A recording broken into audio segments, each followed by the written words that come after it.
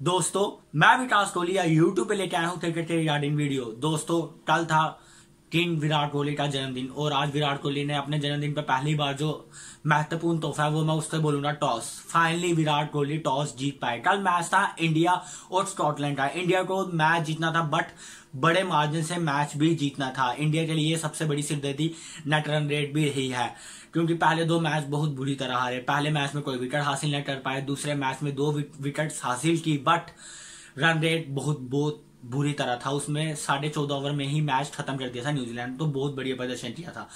पहले मैच में Shaheen Afridi man of the match दूसरे मैच में Ish Sodhi man of the match तो बॉलिंग डिपार्टमेंट उनका बहुत अच्छा रहा, दोनों अपोनेंट टीम्स का। इस बार इंडिया टीम ने भी बॉलिंग डिपार्टमेंट अपना सही कर लिया फाइनली इस बार प्रदर्शन बढ़िया किया। विराट कोहली इस टूर्नामेंट में पहली बार टॉस जीते। पिछले नौ टी ट्वेंटी इंटरनेशनल में वो दूसरी बार टॉस जीते हैं। देखा जाए 2021 में जितने भी टी ट्वेंटी इंटरनेशनल हुए हैं, अभी तक वो दूसरी बार ही टॉस जीते हैं। तो और जो सात बार हारे हैं, हर बार विराट कोहली को बोला गया है कि आप पहले बल्लेबाजी कीजिए, हम चेस करेंगे। तो देखा जाए विराट कोहली को ज़्यादातर चेस के लिए नहीं बोला जाता और क्योंकि ज़्यादातर देखा है जो इंडिया की बीन्स है, वो चेस में अच्छा प्रदर्शन करती है। एक दो जो आईसीसी के इवेंट्स हो, उसमें नहीं कर पाए बट मैक्सिमम चांसेस में वो अच्छा प्रदर्शन करती हैं।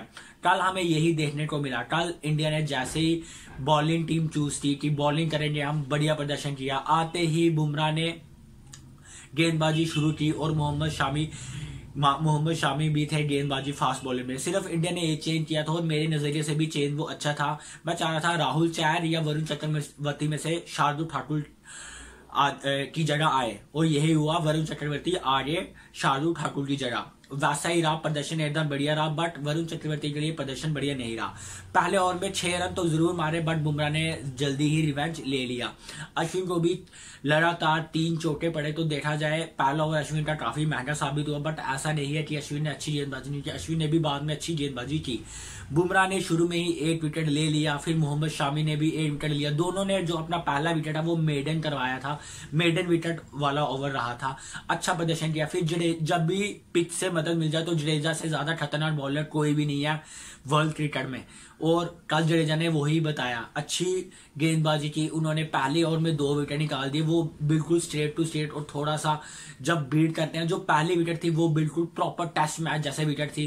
कल क्रिक बस कॉमेंटेटरी में भी डाला गया था कि ये ऐसी लेंथ ये टेस्ट मैच में रहते हैं, हम चाहते हैं कि व्हाइट बॉल में भी ऐसी लेंथ ज़्यादा देखने को मिले और ज़्यादा ऐसे स्टम्प्स खेल सके। बढ़िया अच्छी प्रदर्शन किया अश्विन ने भी एट विकेट लिया। अश्विन के पास दूसरा मौका भी था विकेट लेने का। उन्होंने अपनी सूझबूझ दिखाई और वाइड बॉल करवा दी। बट ऋषभ पंत फेल कर दे ड्राफ करने में और स्टम्पी का चांस मिस हो गया। नहीं तो दो विकेट हो जाती। अश्विन की। और इस बार भी वरुण चक्रवर्ती कोई विकेट नहीं ले पाए। लगातार वो तीन मैचेस टी ट्वेंटी इंटरनेशनल में कोई भी विकेट हासिल नहीं कर पाया देखा जाए वो कोलकाता नाइट राइडर्स के लिए मिस्ट्री स्पिनर माने गए हैं बट इंडिया टीम में उनका कुछ भी नहीं रहा। आज उनसे उम्मीद थी कि अच्छा प्रदर्शन करे विकेट ले बट आज भी वो विकेट नहीं ले पाए। तो उनके लिए टूर्नामेंट कुछ खास घट नहीं रहा है अभी तक। और इंडिया ने लास्ट में बुमराह ने फिनिश अप किया। इंडिया ने एक बार हैट्रिक भी ली, वो टीम हैट्रिक थी। पहले शमी ने आउट किया, उसके बाद रनआउट हुआ, ईशान किशन थे फ़ील्ड पे रनआउट किया। उसके बाद फिर से बॉल मारा मोहम्मद शमी ने। देखा जाए, मोहम्मद शामी ने दो ओवर अच्छी गेंदबाजी की। एक ओवर में उन्हें छह रन पड़ गया चार रन पड़ गया थोड़े से तो इसलिए वो तीन ओवर में पंद्रह रन चले गए। और जडेजा ने तो चार ओवर में पंद्रह रन दिए, तीन विकेट लिए। तीन विकेट जडेजा, तीन विकेट शामी, दो विकेट बुमराह।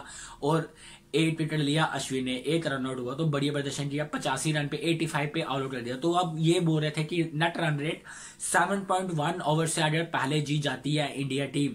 मैक्सिमम 7.1 ओवर से नीचे। जीत जाती है तो अफ़गानिस्तान और न्यूजीलैंड के दोनों नेट रन रेट क्रॉस हो जाएँगे। और 8.3 से पहले जीत जाती है तो न्यूजीलैंड का क्रॉस हो जाएगा। इंडिया टीम ने वैसा ही प्रदर्शन किया। के एल राहुल और रोहित शर्मा ने इस बार फिर से बहुत अच्छी बल्लेबाजी की। पिछली फॉर्म को कंटिन्यू रखा, जो अफ़गानिस्तान में रखा था। और इस बार भी उन्होंने प्रदर्शन बहुत बढ़िया किया। राहुल ने इस बार भी लगातार दूसरा शतक जड़ा। हम यही राहुल को जानते हैं आईपीएल में बट वो T twenty international World Cup में चल नहीं पा रहे थे, जो मेन मुकाबला था। फाइनली वो चले। काश ये थोड़ा पहले होता काश बोलने का कोई फ़ायदा नहीं, अब हम पूरा रिलाई करते हैं थर्ड टीम पर। इस बार राहुल ने भी पचास रन मारे, रोहित शर्मा ने भी तीस रन मारे, फिर दोनों आउट हो गए। इस बार भी इन स्विंगिंग यॉर्कर पड़ा रोहित शर्मा को और आउट हो गए। एट विकेट वॉट ने ली, जो अच्छे बॉलर है, उनको अभी तक इतना फैंटा भी नहीं पड़ा जो बोलते हैं फैंटा मतलब अच्छा ज़्यादा स्कोर नहीं पड़ा हुआ है। वो नहीं पड़ा इस बार वॉट को बट इस बार थोड़ा स्कोर पड़ा, क्योंकि अच्छी बल्लेबाजी कर रहे थे इंडिया टीम के बल्लेबाज। लास्ट में आके विराट कोहली और सूर्य कुमार यादव ने फिनिशिंग टच दिया, और सूर्य कुमार यादव ने छह रन से मैच फिनिश किया। तो इंडिया जीत दी, आराम से छह ओवर तीन बॉल में। तो इंडिया का रन रेट भी प्लस वन पॉइंट सिक्स हो गया। देखा जाए इंडिया टीम के जो ग्रुप है, उसमें सबसे ज़्यादा रन रेट इंडिया टीम का ही अच्छा है plus one point six but run rate तो अच्छा किया, वो तो बहुत अच्छी बात है बट अब पॉइंट्स टेबल में पॉइंट्स की भी बहुत ज़्यादा अहमियत होने वाली है। इंडिया टीम को पहले तो नीबिया से तो जीतना ही जीतना, उस वो तो कोई है नहीं है। बट अब ये भी उम्मीद करनी होगी कि अफ़गानिस्तान जीते। अगर अफ़गानिस्तान जीती है तो इंडिया के पास चांस रहेगा कि वो नीबिया को बीट कर जाए और सेमीफाइनल में प्रवेश कर सके।